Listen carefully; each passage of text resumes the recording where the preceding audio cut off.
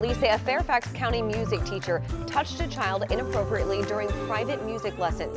The man on your screen is 69-year-old Roger McKay. He was arrested and he is facing charges. Matthew Torres is on that story for us tonight, live from Fairfax County. Hey there, Matthew. In Charlotte, the victim says there were two separate incidents, both allegedly happening during private music lessons at the former Fairfax County teacher's home here on Gainsborough Drive. And tonight, detectives fear there could be more victims.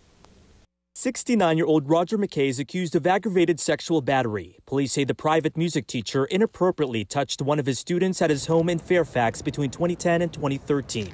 But investigators suspect there may be more cases. Our concern is with his access to children.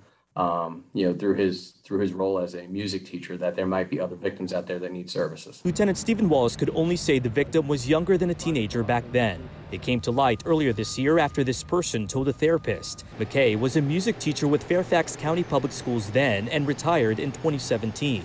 He was providing private music lessons up until his arrest, according to police. He's quiet. We, you know, see him in passing. He waves, I wave back. I don't see him too much. I see some of the other neighbors more. Neighbor Glenn Gardner says he knows him as Jim, who normally keeps to himself. Gardner does not want to know about the allegations and wants to keep it that way. Just don't need to know. It's not my business. Don't need to know. He says there were no red flags, but police are now asking anyone with information to come forward and for parents to talk to their kids and contact investigators if there was inappropriate contact. These lessons took place at his home, you know, I would make sure that if, if you're a parent and you are doing such, I would probably stay there as the parent, make sure that you're always present for these things and, and never leave your child um, somewhere. Police say McKay was never on the radar, but these serious accusations seem to come as a surprise, even for neighbors who may not want to know. It would be shocking. Yeah, I'd be really surprised.